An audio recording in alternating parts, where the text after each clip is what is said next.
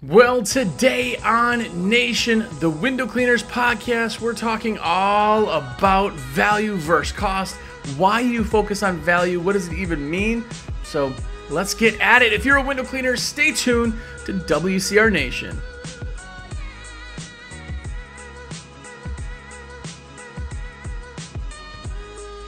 What's up, everybody? Jersey here from windowcleaner.com, and you are here. What is up?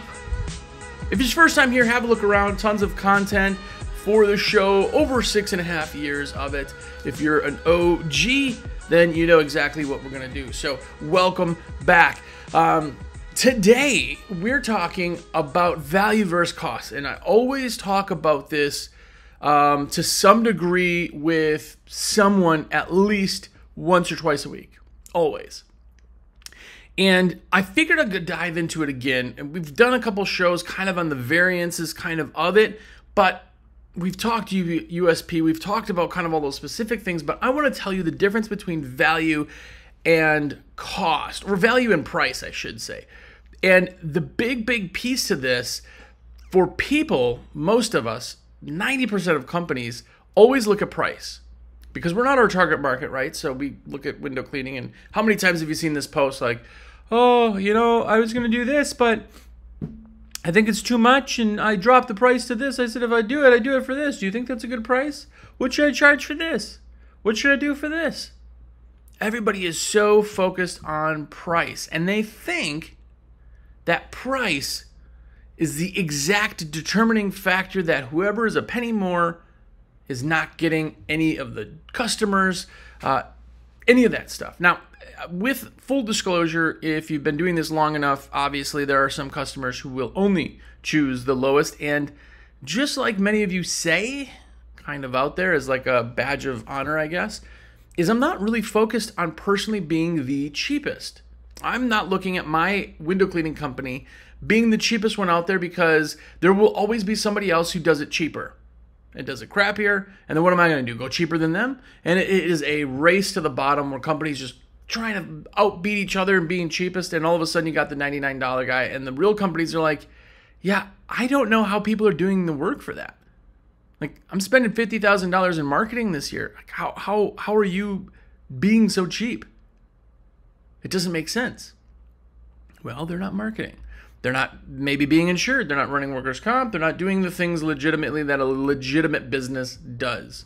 Now, with that being said, you want to be semi in the ballpark of kind of where people are priced wise. If it's, you know, everybody else is at a, you know, $299 job and you come in at like $4,000, eh, you're not going to be able to sell the value. But the value versus the price is absolutely more important. And by the way, I'm going to start off by saying this exact piece here is that if there's one piece of this, there's two, but th- this is the first one. If you have only the information known, its price, and that's the only thing you know, just think of anything. I always give this example, I'll give it again, but if I'm going to sell you something and you have to buy it, you have to buy it, and it's $1, $10, or $1,000, what are you going to buy?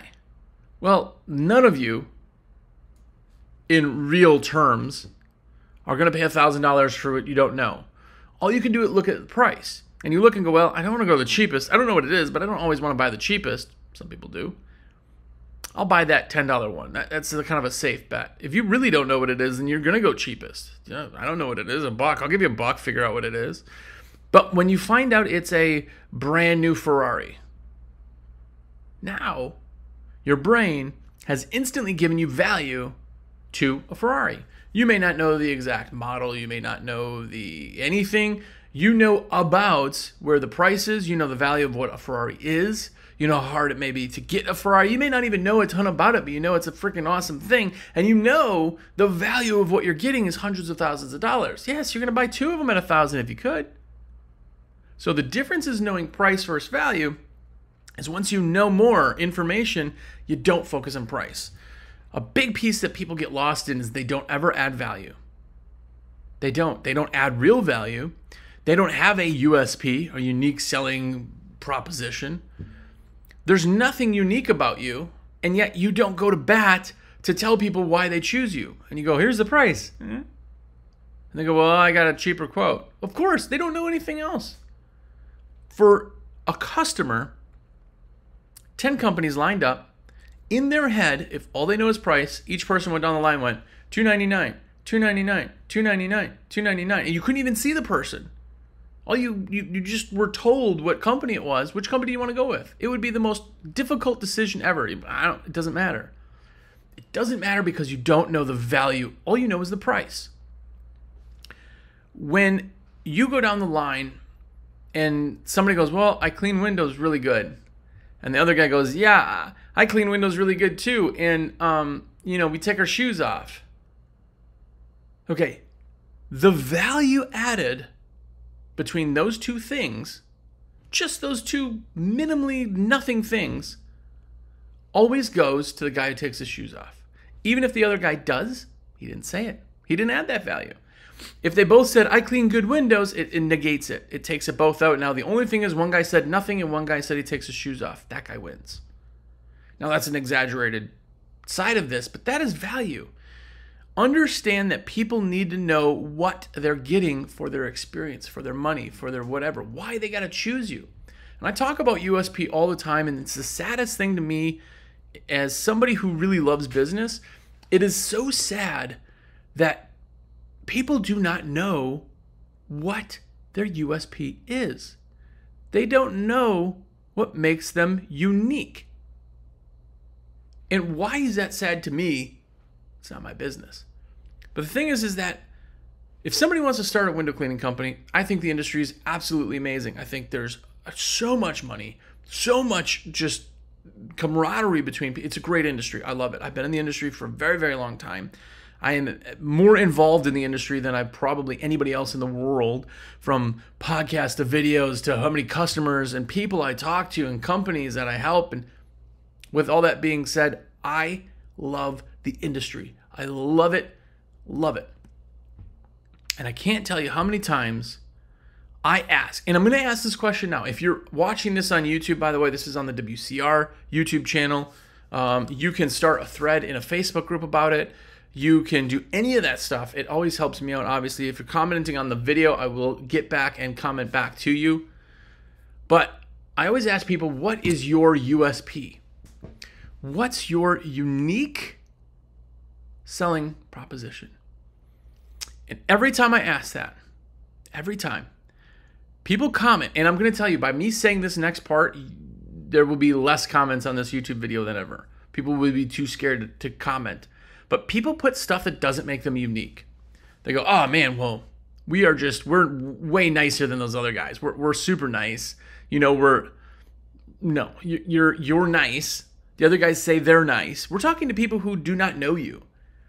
You're not, you're not under well once they get to know me they're we're talking about why does a customer buy you in the first place why do they buy your services what makes you unique to tell them and so many of you go well i mean you know we're fully insured and you know we uh, we've been cleaning a long time and yeah i'm pretty sure that out of the 70000 window cleaning companies in the country i'm pretty sure there's companies that have been cleaning a longer than you or they are insured like you, or they may have a guarantee like you, or they may have logoed shirts like you, right?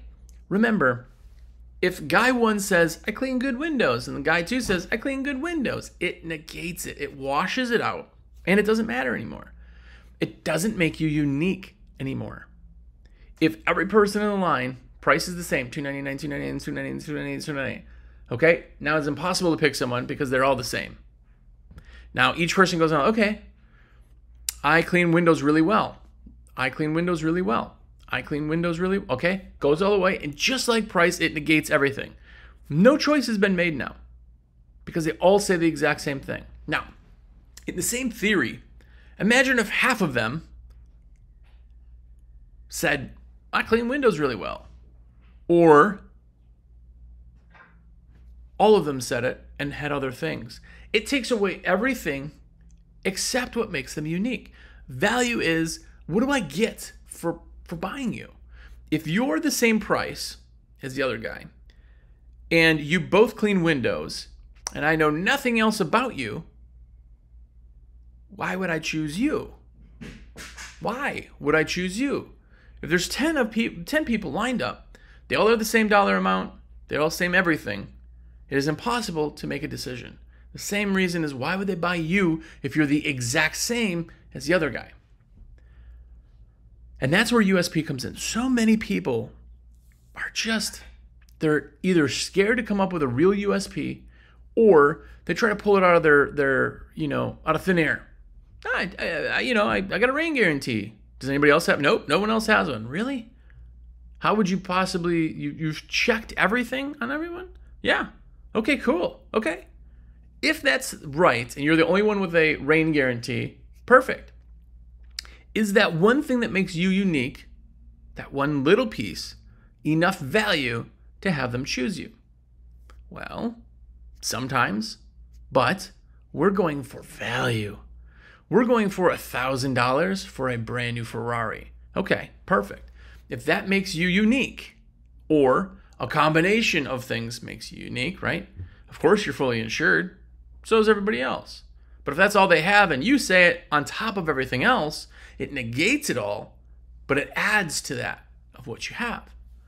Making you unique is where we are looking for. And th- this whole thing of window cleaning yes, results in clean windows, which is a luxury. Fight me all you want on that. It's a luxury, not a need. So people are looking for the experience. So once you figure out what makes you unique, and this takes time to really dive in and like what makes you unique, and I cannot have something I will find out is unique. It has to be face value unique. Well, my staff is amazing. They're trained by me. I don't know who you are. I, I, mean, every person's trained. That's not unique. I mean, unique that it's actually by you, but I can't see that at face value. Unique at face value is what adds to it. Now, we're going back into luxury mindset in services. Now, if you're a heating and air guy, well, that's a need. What's not a need for them is the least popular service, which is tune-ups. Tune-ups are technically not needed, so people don't always do them. But if my heat goes out right now and it is 10 degrees, I eh, need you here now. I need you here. I'm not going to ask price. I need you. It's done. Just get it done. If my heart is failing and if I don't have surgery, I will die. And you say you do surgery, you're a surgeon. I'm going to go with you. I may even look up like reviews on people Again, what makes him unique. But I am not going to be asking price. I'm not going to be choosing the cheapest heart surgeon to save my life. That's a need. Now, when you get into a luxury, there are luxury products out there. Again, we could talk cars because it's kind of a uniform platform. I'm not a huge car guy, it's just what I use, but you know that there is Bugatti and Ferrari, like I mentioned, Lamborghini and Rolls Royce, and all these luxury brands the luxury brands are out there. Are you or I ever going to buy a Lamborghini? I hope if that's what your goal is, you make it happen, but that's not my goal. I'm not going to spend $300,000 on a car. Just not going to happen. So I'm not the target market for that. You may not be the target market for that.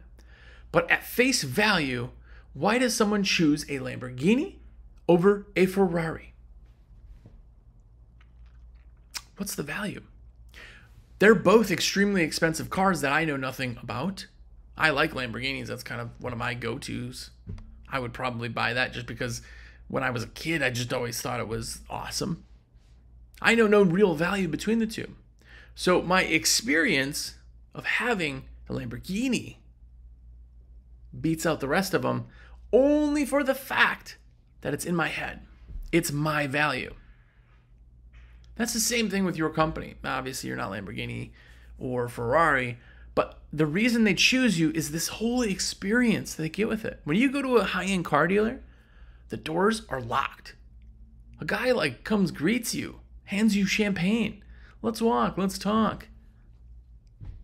Maybe you're you're sipping champagne, smoking a cigar, walking through their showroom. If you're to that level, that's your experience. Your experience. If you're going to look at million dollar yachts, that's your experience. If you're looking for $10 million apartments in New York, you're going to take a helicopter to go look at this stuff and fly around. Come on, we'll take you out. We'll bring you, we'll see the skyline from the air, we'll show you the outside of these places, and then we'll go tour them. It is not because looking at an apartment from a helicopter makes you see more, it is the experience of doing it. Now, before I get on a, a tangent here, um, I have to go into the sponsor of the show, which is me. I sponsor the show. but I am a rep for windowcleaner.com. It's a window cleaning resource. It is the greatest place to buy window cleaning supplies. And I am the greatest rep you could possibly deal with. Now, I know there's other reps, but what do I add for value? I make your job absolutely easy and I answer any and all of your questions and I will give you real answers every single time to every one of your questions. And I want to be your rep. I want to be your rep. And I love adding value to this content. I love that you're watching or listening to this. And for me, I hope I added enough value for you to let me place your orders for you. And if so, which I hope so, uh, my number direct is 862 312 2026. I'm the only jersey you know, so save it. Next time you have an order, literally you can shop, put it in your cart. Instead of clicking checkout, just click save this cart and then text me. Be like, yo, Jersey, everything is good. I will verify your address because I do every time. Make sure everything looks good. If you got questions on the order adding things, oh, by the way, add one of these and that. Cool. I can do all of that for you. And I can make it easy. I could save everything else. It's done through a text and it costs you nothing extra, not one penny more. It costs you not one penny more to have more value buying from me than buying through the site alone. And you got somebody in your back pocket. So hopefully uh, that's it. I want to give a couple quick shout outs to some of the awesome people anyway. Uh, Dylan Marmet, what's up? Jonathan Richards, of course, uh, he is an OG. Uh, Joshua Willis and Robert Howell, just a few of the people who uh, I'm lucky enough to be able to put orders in for. So thank you to you guys uh, in general. And if you haven't yet gotten a subscription to the AWC magazine, go and do that. I own the magazine also, so I see when you come in. Go to awcmag.com forward slash sub. Get a subscription, 69 bucks. Get it. It helps the industry. Amazing writers, amazing pictures, amazing articles, amazing stickers. It is all super awesome and mailed to your door. It's a real magazine, not just a PDF that you go online and look at. So if you do, go and do that. I would love, love nothing more. So go and check that out. Anyway. So back to the value versus price kind of dilemma. I always have to say in this I always say be friends with your competition. That's a great, great thing you should be doing. But I also, in this side of it, think, just like everything, that you still need to always compare yourself to the other guy. And not that what he's doing is always right, but what he's doing could affect you. If somebody's calling him and you, this is why we do phone bids, we can explain our value USP right over the phone, book everything, make it simple, get them done. Now they're not calling somebody else. But if you're not doing phone bids, I don't even know what you're doing anymore. But if you're not doing phone bids um, and you are um, um, slowing your progress and um, lowering your close rate by doing so, they're calling somebody else. And if they call him, they find out his value, and all of a sudden you don't make sense. If one guy says, I am 299 and I clean good windows, you go to another guy and goes, Hey, I am, what did I say, 199, 299, whatever it was, and I clean windows, same price. I also clean windows, but we have a seven day rain guarantee. We're fully insured and carry a $5 million aggregate policy, so you're protected. Not only are all of our techs logoed lettered and uniformed, but they all have name badges with their pictures so you know exactly who's coming to your house. Our trucks are all lettered and logoed so when they're there, you know you are with a company you can trust. Not only that, but we make sure everything is done for you beautifully. We walk through your entire project for you every single time when we're done. And if you see any spot, streak, or smear any time of day, we have a 100% satisfaction guarantee. Now, you can go in and all of that, but all of those things that I just said are more than likely pretty relatively common. But that combination is putting people at ease. It's the reason that when you see infomercials, which I know are, are hokey, but they're the most psychological buying processes that exist. When you see them, they're always adding more. Well, act right now and you'll get a second one absolutely free. Just pay a separate postage. You've seen that, right? But wait, there's more. All of those things are added there so that you look at it in the first place to show you everything. They exaggerate. Oh, it's so hard to wash a car, but with this new thing, it's way easy. Look at me, I'm happy, and my picture's in color instead of black and white when I throw everything over and get covered in suds. What they do is they're creating a pain point. They're exaggerating it so you get the pain point faster. That sucks washing a car. It's it's it's tough, right? It's hard washing your windows. You're going to take your whole weekend away from your family, maybe away from the golf. The golf course is calling you, right? Apple picking with your family is calling you. Have us clean your windows, get your weekends back, right? That piece is value. The value is the feeling. The value is what you're offering. The value is all of those other things that come in and why they choose you instead of somebody else. When you add value, it's the weight, but there's more. They didn't discount the price anymore. The price was the price. They start off and go, get all this now for $29.99. And they want your brain to be like, oh, it's not a bad price. That's uh, but wait, there's more. And you're like, there is value, they start adding all this other stuff. You're getting, they knew that stuff was already there. It was already in the price, it was already in everything. But they showed you this and then told you, but you get all of this.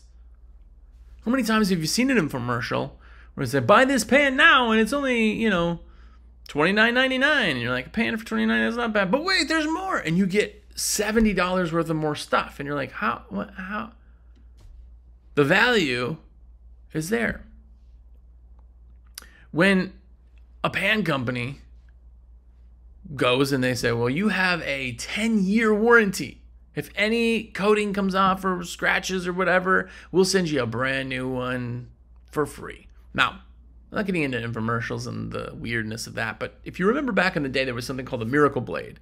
Man, I remember this commercial because it was lifetime sharpness, guaranteed. If this knives ever get dull, send them back. We'll uh, send you a brand new, whatever it is.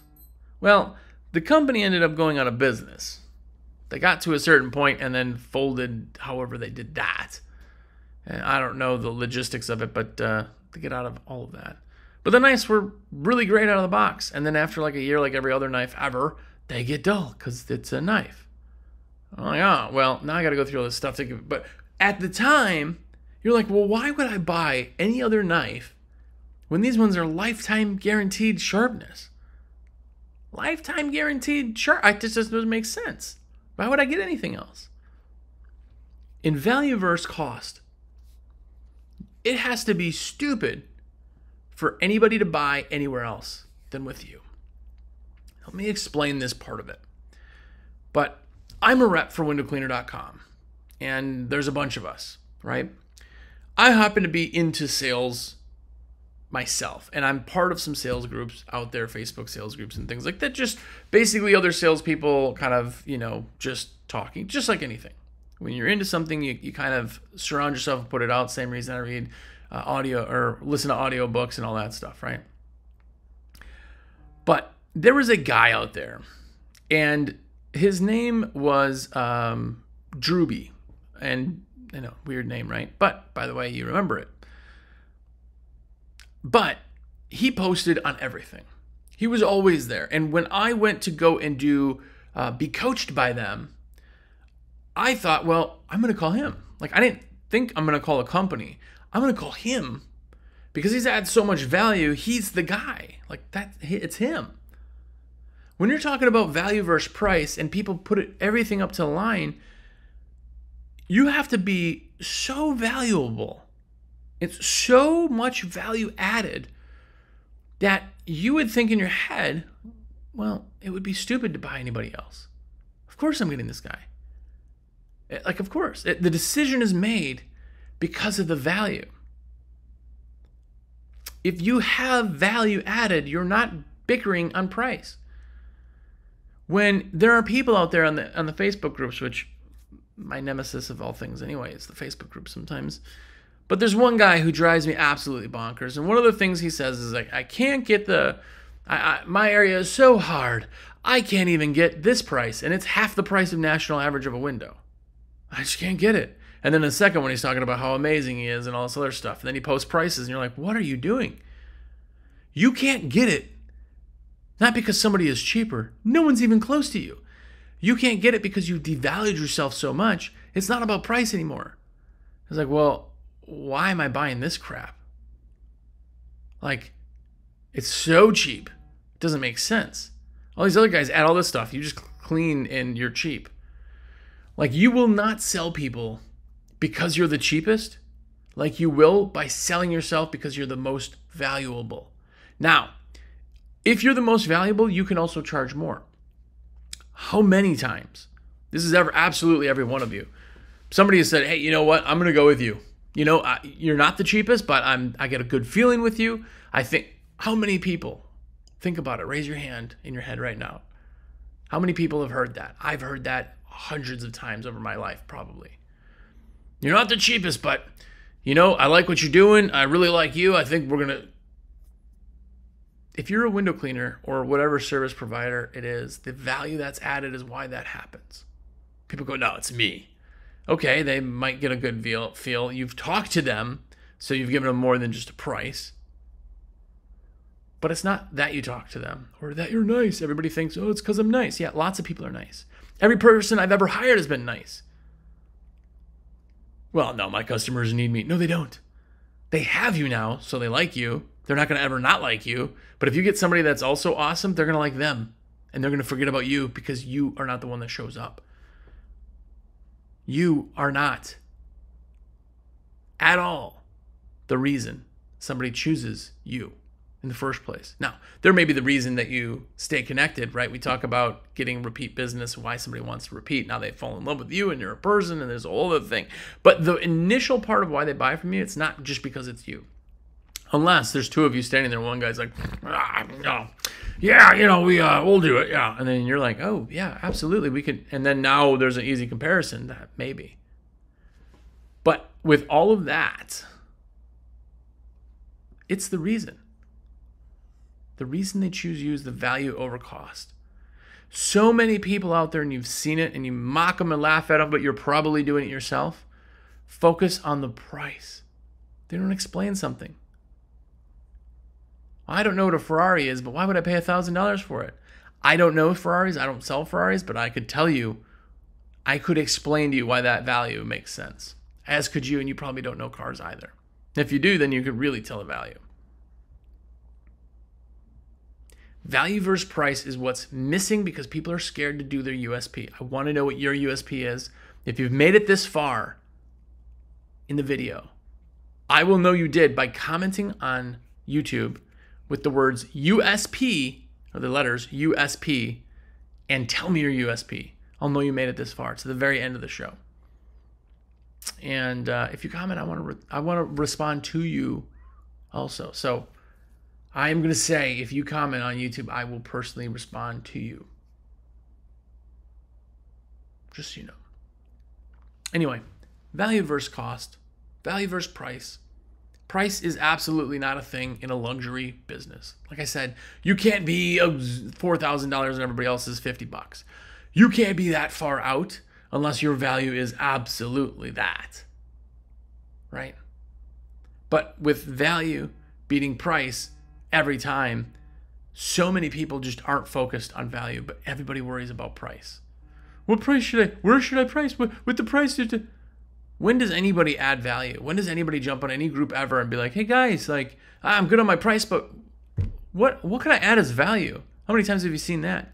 I see price things online 20 times a day. I see value things online zero times a month. And if you're in business, you have to focus on that because 99% of people don't. If you're the 1% that focus on the value over price, you will kill it because 99% of the people means everybody else in your market, everybody else in your area. They're focused on price, they're focused on something completely different. You're focused on value. That's why you win.